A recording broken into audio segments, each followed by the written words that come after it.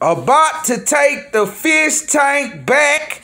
Dump all the fish out that motherfucker. Them bitches gonna be in there rocking like, bro, what the fuck is you doing? Boy, I'm taking your ass back to the pet store. Put that shit back in that corner where you done put that other fish tank at. Move that bitch to the side. Put that hoe back. Give me my 300 goddamn dollar. Bitch, fuck that fish.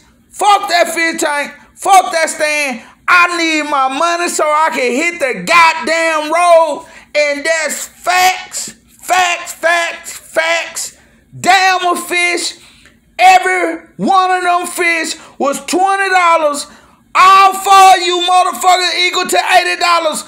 And I can use that shit for gas and my $300 back for that 55 gallon fish tank with the pump Bitch I already green. I'ma wipe that motherfucker out and take that hoe back. Cause I want my goddamn money for the highway, goddamn it.